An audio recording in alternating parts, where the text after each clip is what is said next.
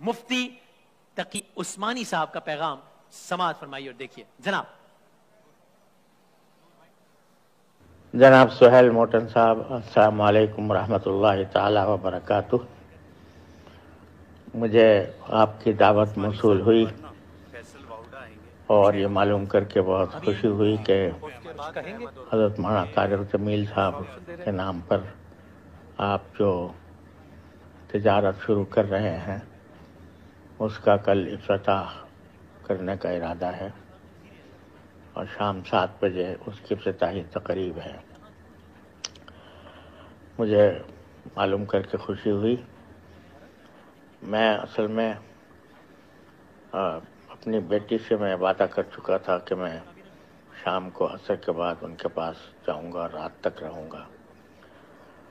और ये अरसे दराज के बाद मुद्दतों के बाद ये मैं मैंने ये वादा किया था।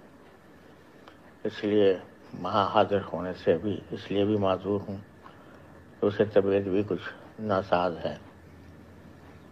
और बेटी के यहाँ जाना भी उसी शर्त के साथ है कि तबीयत ठीक रहे। और वो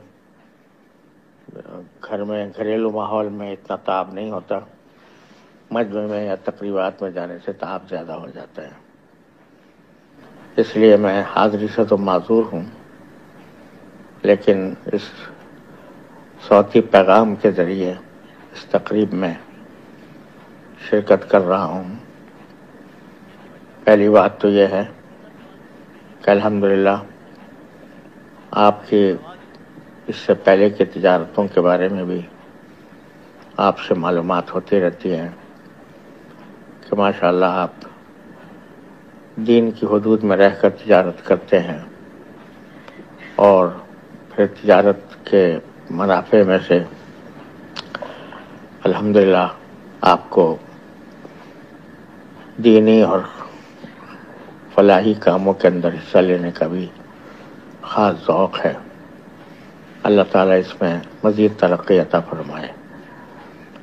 और ये जो नया कारोबार हज़रत मौलाना तरीब तारिक जमील साहब मदज़ुल्लुम की, के नाम से ये शुरू किया जा रहा है। इसके बारे में मुझे आपने ये बताया था कि यह महज एक कारोबार ही नहीं होगा, बल्कि इसके और भी बहुत से फलाही मकासद हैं। तो तजारत अगर हलाल तरीके से की जाए, अल्लाह तबारक व ताली के आकाम के मुताबिक की जाए और अच्छी नीयत से की जाए। तो ये भी बहुत बड़ा सवाब का काम है।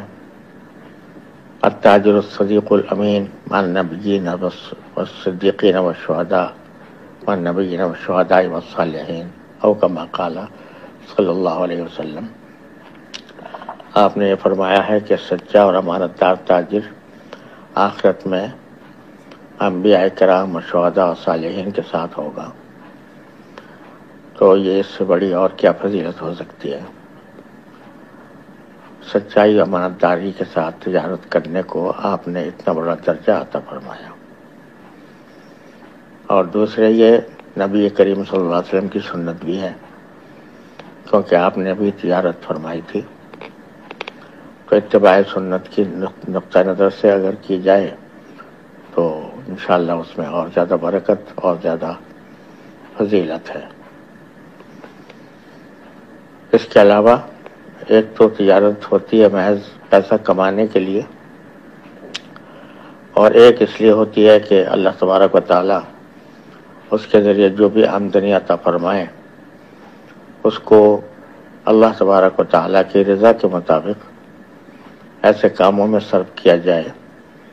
जिससे अल्लाह तबारक वाली राज़ी हों और उससे दूसरे लोगों की मदद भी हो और दीन को, और दीन के पैगाम को आगे बढ़ाने और दूसरों तक पहुँचाने के लिए भी इस मुनाफे को इस्तेमाल किया जाए।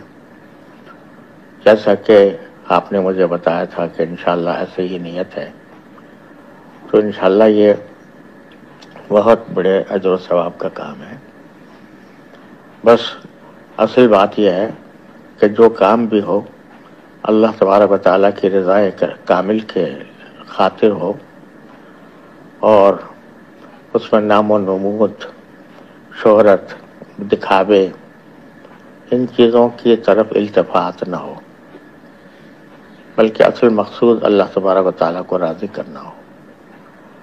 और हलाल तरीके से कमाकर उस आम कमाई को अल्लाह तबारक ताली की रज़ा के मुताबिक खर्च करने का इरादा हो।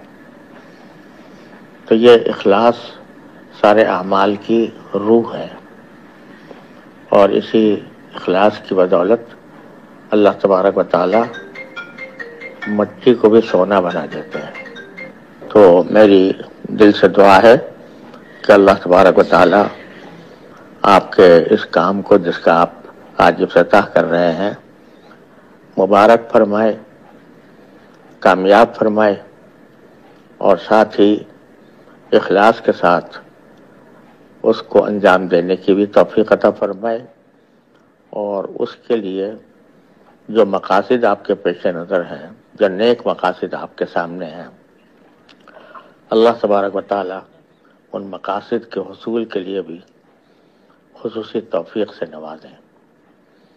हज़रत मौलाना तारक जमील साहब, दावत बरकतुम हमारे हमारे कौम और मिलत का एक सरमाया है और इस लिहाज से मैं उनसे भी सलाम के बाद ये ये मुबारकबाद पेश करता हूँ।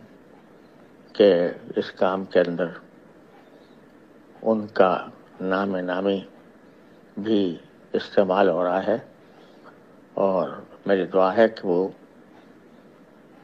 नेक नामी का ज़रिया बने और अल्लाह तबारक ताली के दीन की खिदमत का ज़रिया बने। और उसमें ज़ाहरी और बातनी दोनों एतबार से नफ़ा भी हो और ज़ाहिर और बातनी तरक्यात भी अल्लाह तबारक ताली उसको अता फरमाए। इन अल्फाज के साथ मैं आपको, मौलाना तारिक जमील साहब को और आपके तमाम रफ़ा को दिल से मुबारकबाद पेश करता हूँ और आप हजरात के लिए दुआ को हूँ कि वो अल्लाह ताला के शरीयत के मुताबिक अपने काम को सही तरीके से अंजाम दें। और उनमें, उसमें उनको कामयाबी भी नसीब हो।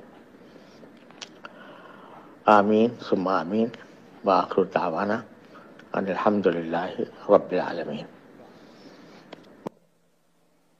आमीन।